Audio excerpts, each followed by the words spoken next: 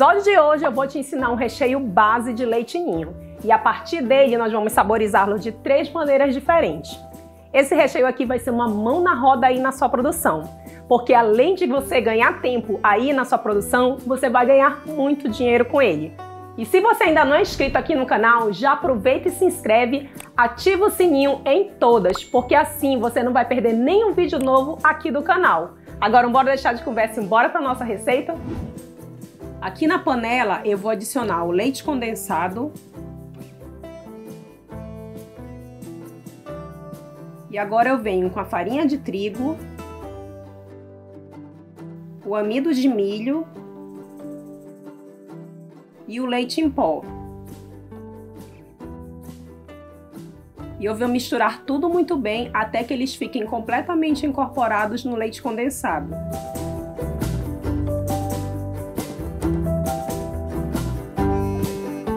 Agora eu vou adicionar a glucose, que vai ajudar na durabilidade e também vai dar mais umidade ao recheio.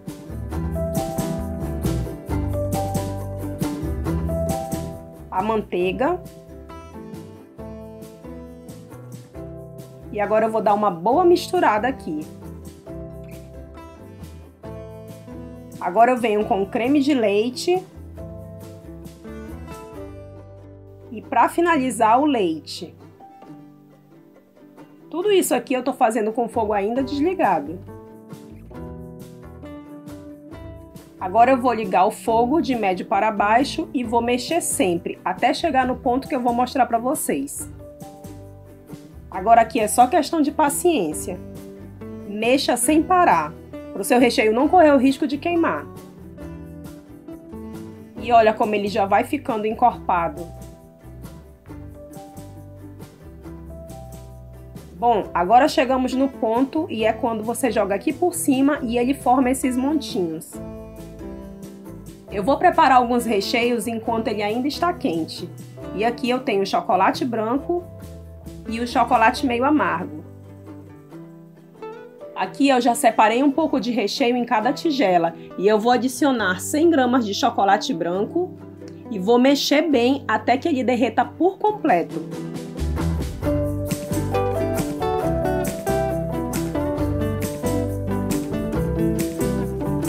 E aqui eu vou fazer o mesmo processo com chocolate meio amargo.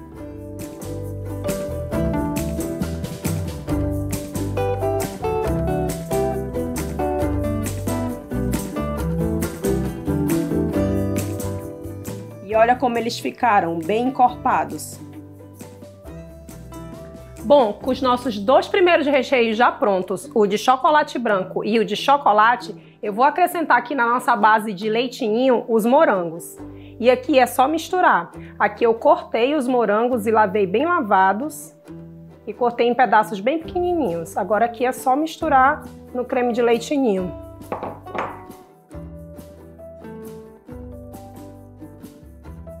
Esse recheio aqui, gente, fica maravilhoso.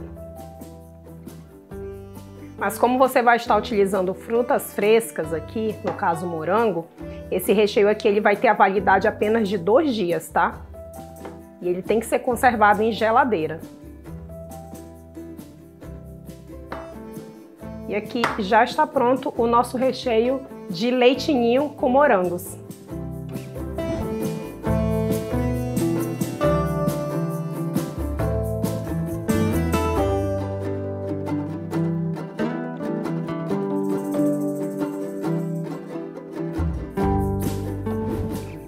Você viu como é fácil, a partir de uma base, você transformar o seu recheio em outros sabores? Isso vai te ajudar demais aí na sua produção e vai te ajudar muito a ganhar tempo. E tempo é dinheiro.